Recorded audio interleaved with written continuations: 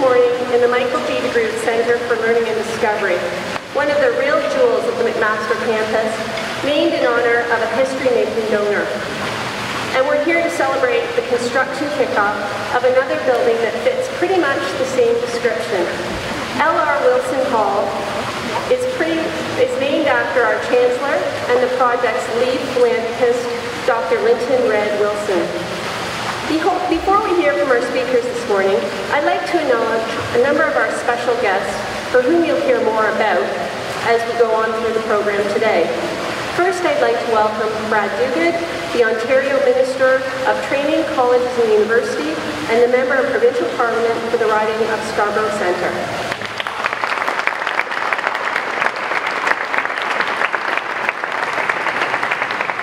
Also here from our provincial cabinet is the MPP for the riding in right now. Ancaster, Dundas, Flamborough, Westdale, longest name riding, Ted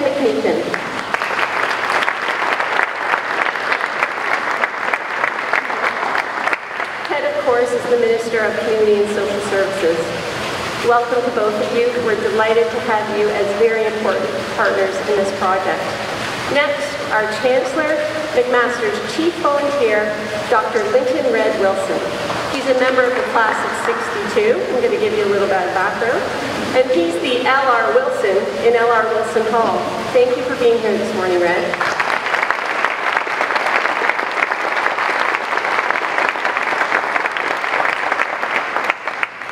McMaster's President and Vice Chancellor, Dr. Patrick Dean, whom I'll introduce a little more in detail in a few moments. Patrick.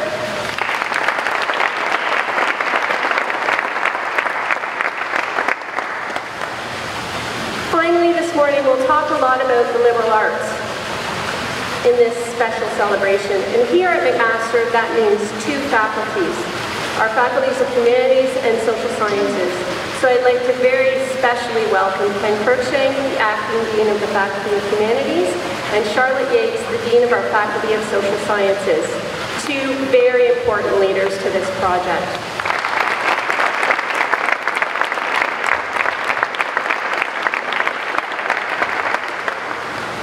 Also welcome David Campbell, the President of the McMaster Students Union, to speak this morning. And for those of you that don't know the history on this important project, the students were a critical component to this project, speaking regularly about the importance of this new facility to our campus. And David's going to speak to you a little bit more about that this morning. Delighted to see President Emeritus Peter George with us, and a range of our academic leaders, members of faculty in social sciences, humanities, and across campus, people who will really benefit from using this facility when it's open in, really, September 2015 for students to enjoy the classes. Our first speaker is Dr. Patrick Dean, who's been McMaster's President and Vice Chancellor since July of 2010. He's also a professor of the Department of English and Cultural Studies. So in the future, if he wants to fit some teaching into his presidential duties, L.R. Wilson Hall would likely be where that happens. Ladies and gentlemen, please join me in welcoming Dr. Patrick Dean.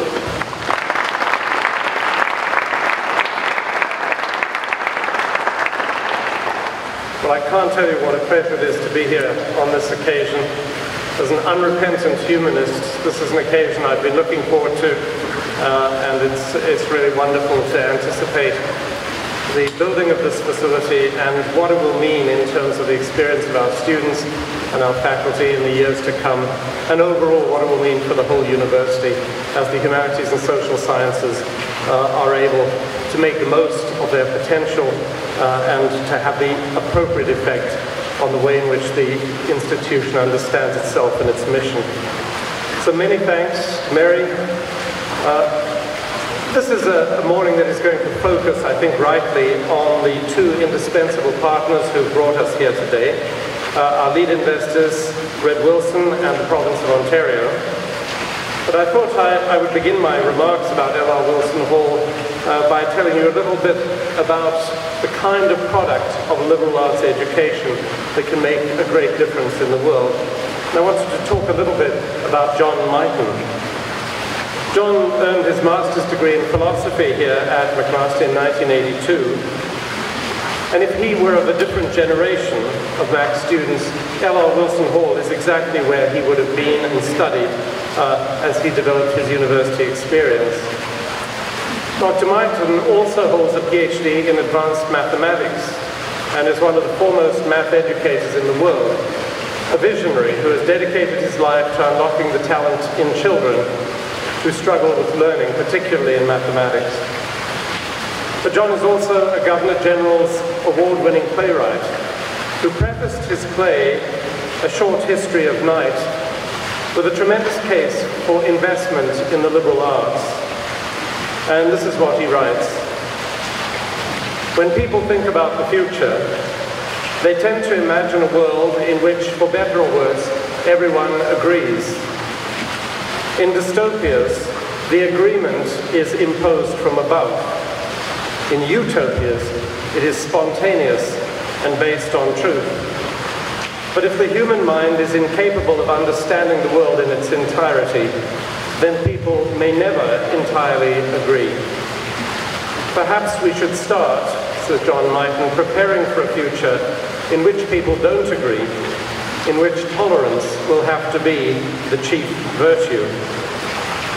The tolerance Mighton aspires to in these words depends ultimately on a number of complementary virtues, which are, of course, the stock in trade of the social sciences and humanities, virtues like critical thinking, community engagement, creativity, adaptability, all, as I say, strengths of a liberal arts education, particularly at this, one of the world's top 100 universities. The capacity and features of L.R. Wilson Hall will advance McMaster's approach to teaching and learning in the faculties of humanities and social sciences, and in the process, it will help us to proliferate those virtues. L.R. Wilson Hall, which will also house our Indigenous Studies program, will feature a 400-seat lecture theatre, two 100-seat classrooms, and a number of smaller learning spaces designed to facilitate McMaster's signature learning approaches, problem-based learning, and inquiry. The building will also house research centres, including the Wilson Institute for Canadian History and the Gilbrea Centre for Health and Aging. And much to the delight of our playwriting alumni, L.R. Wilson Hall will also be home to new performing arts spaces, including a 350-seat concert hall and a, block, a black box theatre that can be reconfigured for a variety of music, dance and spoken word productions. Wilson Hall will also be tremendously respectful of the environment through the achievement of LEED certification and it will be respectful of the building's location on our campus and in our neighborhood. Gardens, building materials, and the green roof will all enhance the human environment of the L.R. Wilson Hall while reducing its ecological footprint we're also keenly aware that this building's location brings with it the responsibility of being a gateway between the campus and our neighbors. And both the design and the usage plans for L.R. Wilson Hall take that mission to heart. Now, as you know, two keystone investors have made this project a reality. The province of Ontario contributed $45.5 million and the building is named in honor of our lead donor and our chancellor, as you've heard, Lynton Red Wilson, who contributed 10 million. So on behalf of my colleagues on the university senior team, particularly the acting Dean of Humanities, Ken Cruikshank, and Charlotte Yates, the Dean of Social Sciences, I want to thank Ministers Duguid and McMeekin, along with their colleagues in Cabinet, for their leadership and support. Thank you very much.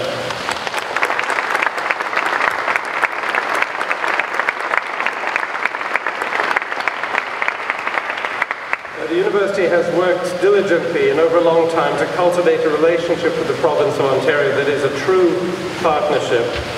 So it's immensely rewarding to see key leaders like Ministers McMeekin and Duguid responding so decisively to the priorities of our university, of our students, and of our community. Investing in Wilson Hall is a visionary decision, one that will reap great, great benefits, not just for the university, but for our province and the world beyond.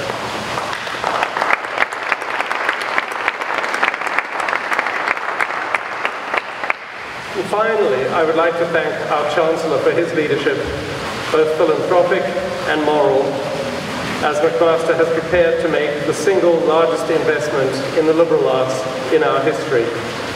Red's personal belief in this project has helped to inspire a reinvigoration of our approach to the liberal arts. In fact, I'd like to conclude my, my comments today, Red, by quoting you from the announcement of your gift in October 2007. Is from our Chancellor.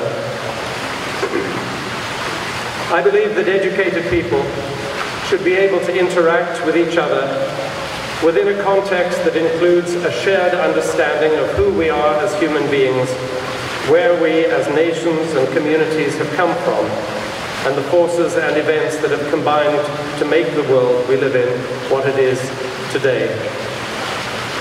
LR Wilson Hall will help McMaster ensure that our future students and our alumni are able to do exactly that.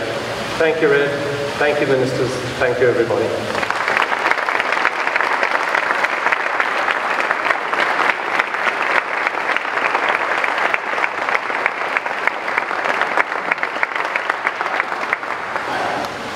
Thank you very much, Patrick. Our next speaker is the MPP for McMaster's home riding, the Minister of Community and Social Services, a very proud McMaster graduate, and a leader who played a foundational role in this project. Please join me in welcoming Minister Ted McMeekin.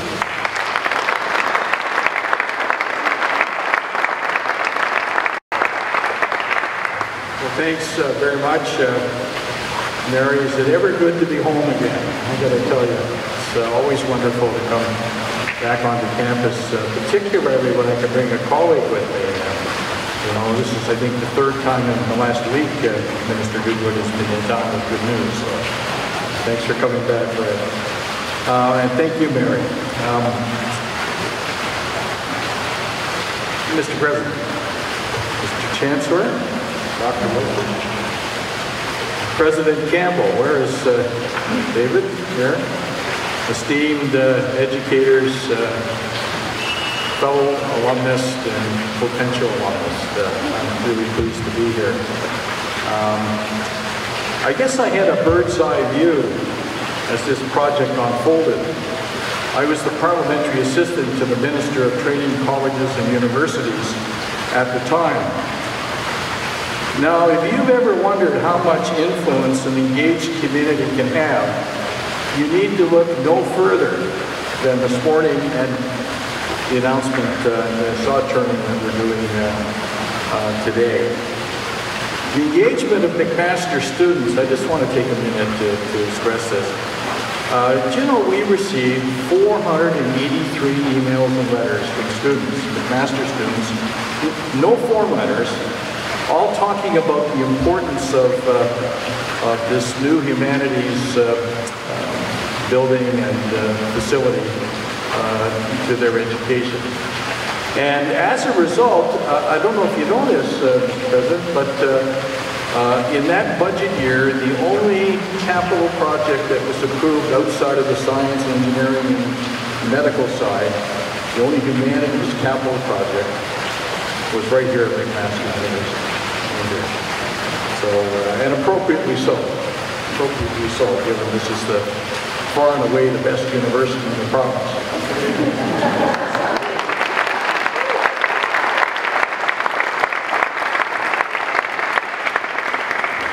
I know. But I, but I want to emphasize it was the students.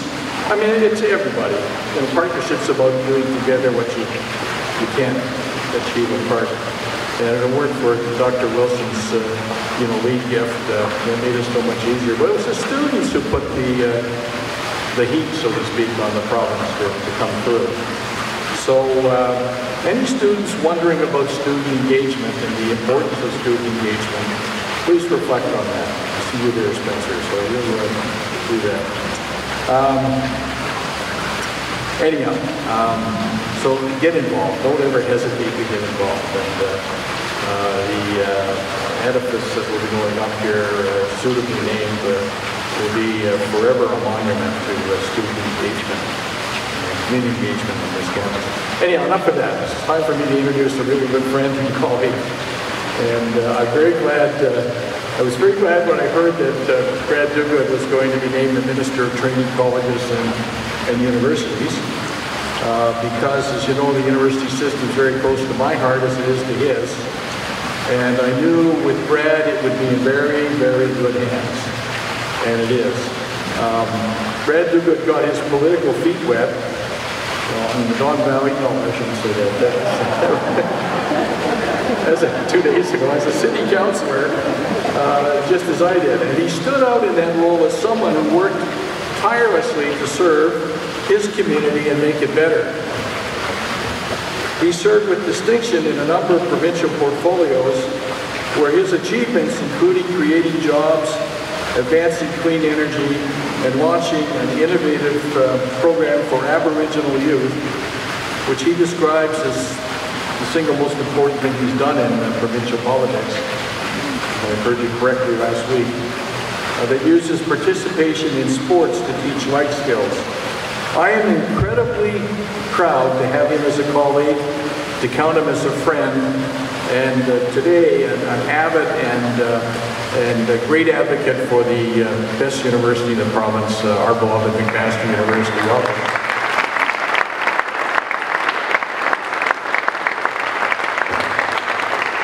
Ted, thank you very, very much. And you're right, this is the second or third time I've been in Ted's territory in the last week and a half or so. I'm spending more time in Ted's writing than I am my own these days. Uh, and what that does, I, I think it speaks to uh, Ted's advocacy on behalf of, of this university, McMaster, on behalf of his entire region. And when he talks about those 483, 483 letters he received from, uh, from David's uh, student colleagues, uh, he really he really drove this at Queen's Park. Uh, this wouldn't have happened without Ted McMeekin's advocacy there. So I would like you to give him a round of applause because we wouldn't be here today.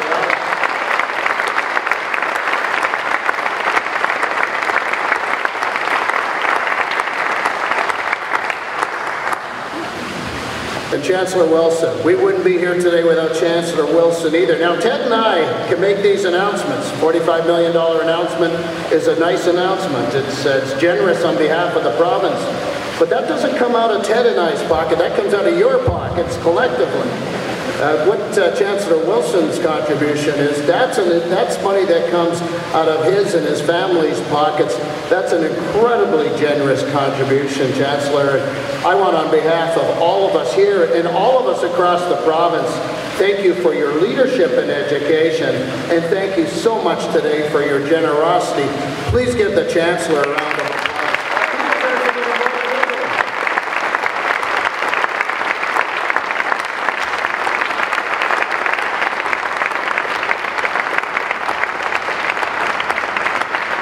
I just thought of something. You're a graduate from 1962. Well, well, my generation thinks of 1962, and here, here's all the stories about it. Maybe, David, you, you hear stories about my generation, but the 60s kind of have some stories to them that I think are unlike any other decade. It's just amazing you're still here with us when we hear about some of those stories, Chancellor. Uh, not to say you engaged in any of those those types of things. You know, the Beatles had just come out when you think about it. John F. Kennedy was still president of the United States in 1962. And a, and a very important thing happened in July of 62. This minister of training colleges and universities was born. So, uh, not to age you, Chancellor, but, uh, and then Ted McMeekin was yet to come, of course. Uh, years later, Ted would come along. But it is so, I'm so happy to be here, and I, I want to say something about Patrick Dean as well. He is a, he is a visionary leader in education in this province, leading one of the, and Ted is absolutely right, leading one of the most cutting-edge universities in our system. The McMaster story is a huge Ontario global success story, and this university has come from a university that started many years ago as sort of an up-and-comer, that's now rising to become a global leader in research and cutting edge uh, thinking and education uh, types of, uh, of, of, techniques that are being used here, and some for the first time, Mary was telling me, in North America.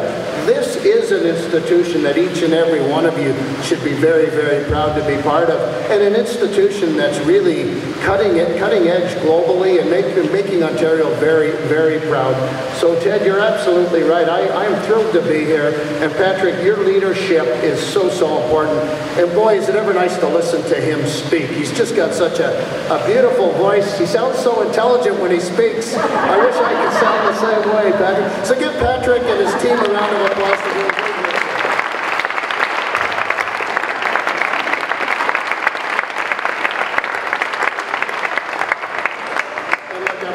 speak and I haven't even gotten started yet, so I better, I better get into it. Wilson Hall is going to be a phenomenal opportunity here for, for students. I think half of the students on this campus will at some point or another gain great access and be part of that building.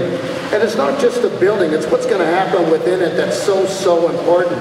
Forget about my notes and forget about all the details of this. At the end of the day, when I come here, what I think of is there are going to be students walking through the halls of that building that are going to make cutting edge contributions to not only Ontario, but the world in terms of some of the work that they're going to be doing in there uh, and go on to create uh, incredibly important opportunities for our economy here in this province of Ontario. And to me, that's what it's all about. That's why my job as Minister of Training Colleges and Universities is so exciting because what we're building here is the future economy of the province of Ontario in a very challenging economic time, but one that has great opportunities because those jurisdictions that are at the cutting edge of that next generation economy will the ones that will succeed the most. And McMaster is helping us lead the way in doing that. So I'm not going to say much more other than say how excited I am to be here, how excited it will be when that building is done, and then how exciting it'll be to see the results of that as more and more McMaster students go on to change the province, to change the world, and contribute to our, our economy here in the province of Ontario. David, thank you for your leadership. Thank you for the leadership of your students.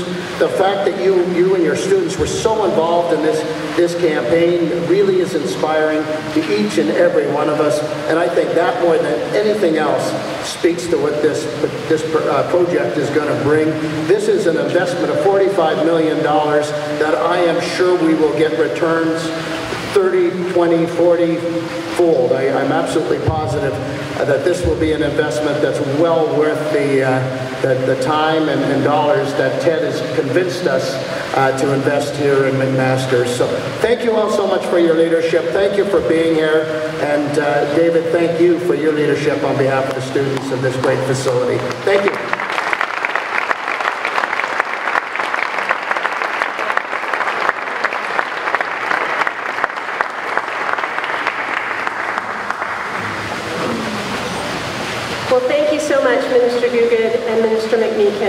I hope you feel our thanks this morning in this room with this great turnout. It's a real privilege to have you as such great provincial partners and to see the province being so well represented this morning. Now our final speaker is the president of the McMaster Students' Union, and you've heard that students were fundamental to this project. David, in fact, is a recent graduate from the university's well-known arts and science program, where he had a strong academic focus in areas of the liberal arts and he's really been involved as an active student leader in many areas, so might be interested to get up on stage in this new performing arts theater. Please join me in welcoming David Campbell.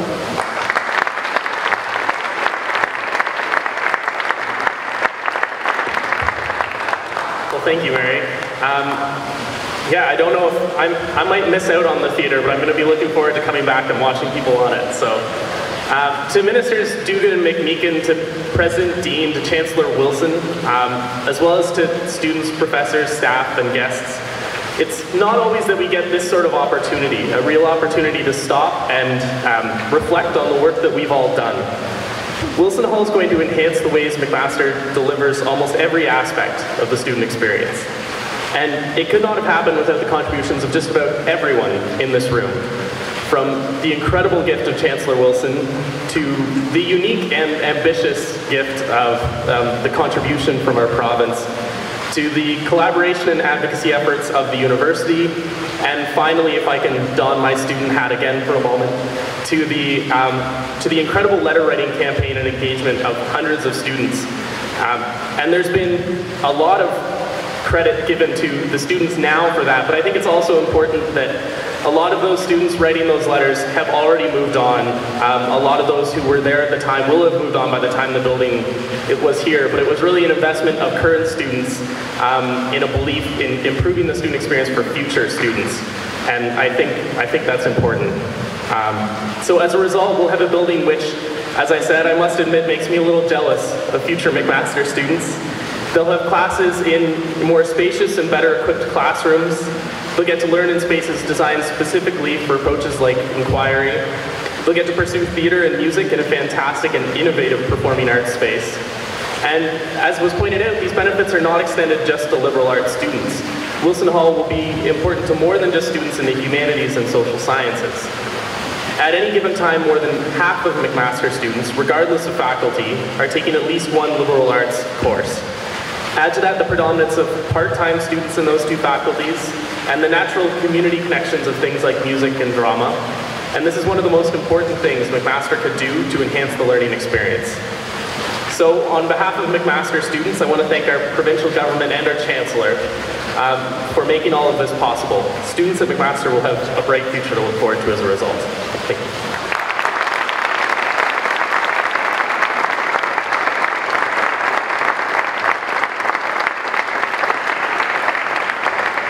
Thanks so much, David. You are an absolutely fine example of student leadership and student engagement at this university.